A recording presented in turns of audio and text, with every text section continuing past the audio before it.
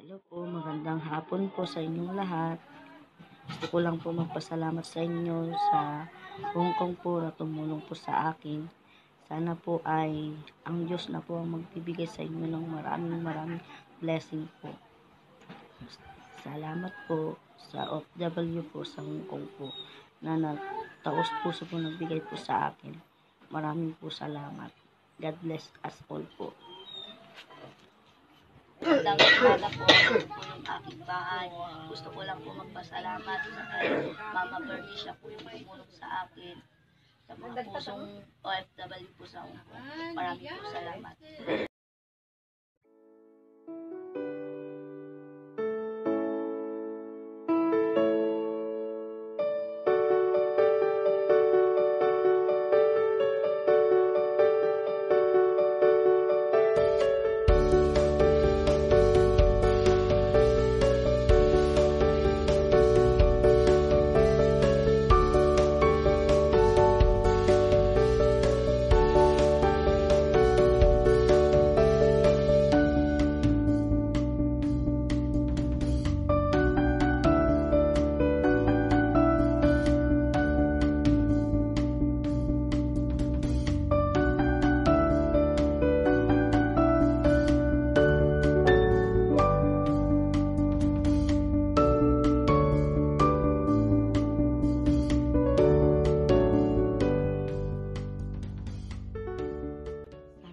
Salamat sa inyong lahat sa binigay niyong pagpapala sa akin.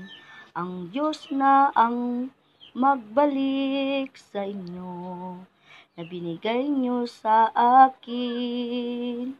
Salamat sa Hong Kong na nagbigay sa akin ng tulong.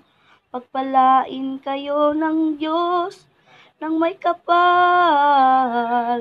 Maraming salamat sa inyong lahat sa biyaya pagkaloob nyo sa akin.